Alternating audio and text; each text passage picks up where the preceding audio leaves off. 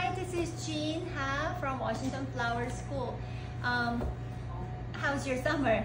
We have a summer course open as a basic course. Uh, it's a certification course for evenings of this time Tuesday, starting from July 18th, uh, for Tuesday, 5 to 7 in at Park Flores Studio. We teach, I teach based on this third book of edition of AIFD Floral Guide Design, Floral Design Guidebook.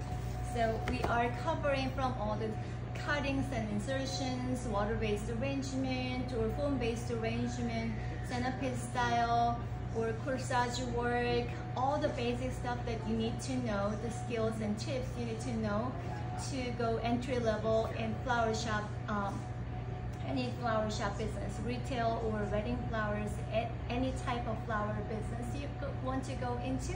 We cover all the basics. It's only four, four days, four Tuesday evenings, but we will cover a lot.